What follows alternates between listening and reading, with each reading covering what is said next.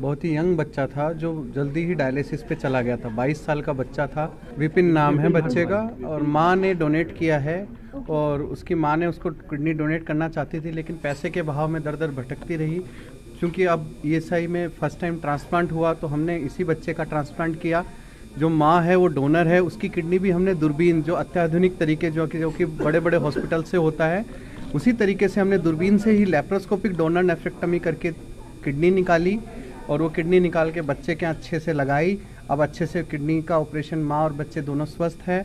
बच्चे को अच्छे से यूरिन आ रहा है और बच्चा आज क्योंकि अभी कुछ देर पहले ही हमने ट्रांसप्लांट किया बच्चा भी स्वस्थ है, यूरिन भी अच्छा आ रहा है और जो उसकी माँ है, जो डोनर है, वो भी स्वस्थ है और उनको तो तीन घंटे पहले ही हमने शिफ्ट कर दिया है वार्ड में और दोनों का ऑपरेशन सक्सेसफुल रहा है और मैं धन्यवाद देना चाहूँगा डीन सर को, डॉक्टर असीम सर को, जिनके अथक प्रयासों से सफल हुआ।